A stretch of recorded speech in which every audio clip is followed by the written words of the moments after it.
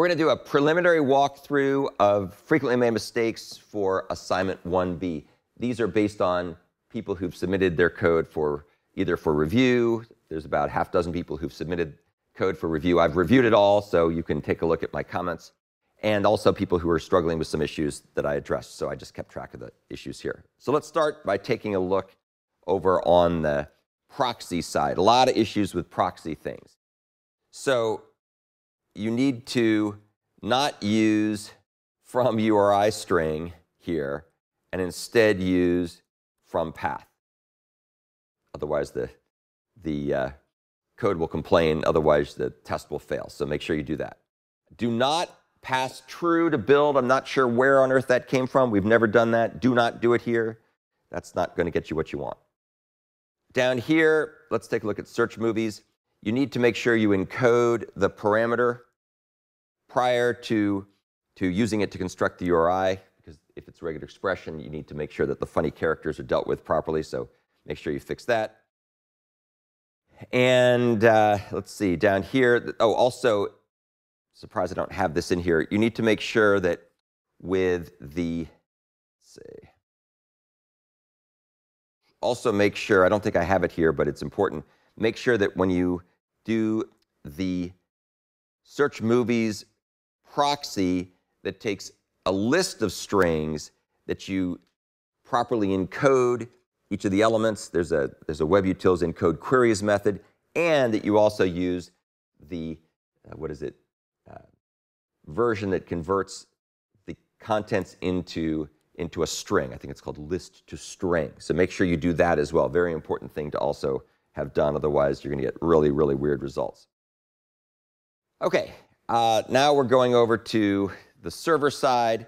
So a couple things. Please get in the habit of using the string constants instead of string literals. So this, this should be replaced by, I think it's called something like search query or whatever.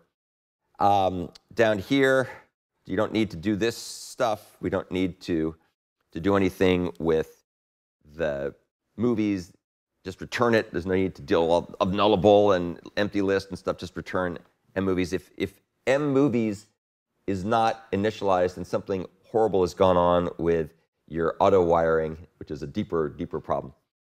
Uh, also make sure that you fix any of the issues left over from assignment 1A with respect to not returning the values correctly. The values that come back should be a list of movies, not a, not a response body list of movies and so on and so forth. So make sure all those comments are addressed as well.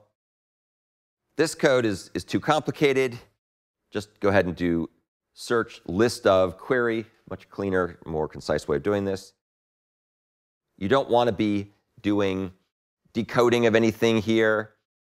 This should be done in a later part of the code. Down here, this, this is actually something that should be up a little higher. Let's see. This is actually part of the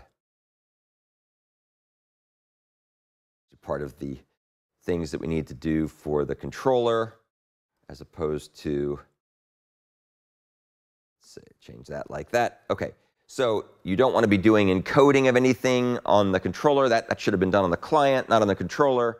So, you know, take a careful look. Look at the way that the example code is being done and follow that. Try, try not to get too creative in ways that are going to cause you trouble, especially when you don't get things working properly.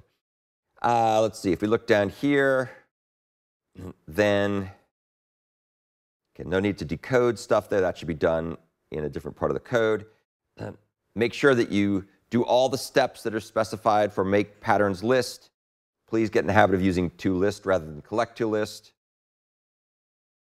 Down here, this is code that needs to be cleaned up too.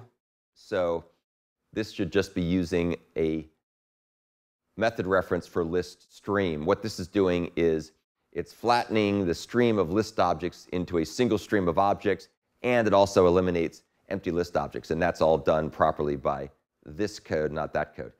And then there's also something else that's missing here that needs to be done. You need to make sure that you have a distinct set of results without having any duplicates in there. So that's what I've seen so far. Make sure that you address these issues before you submit your program for review, which is due on Friday. So please make sure you address all these comments and don't have these issues lurking in your code.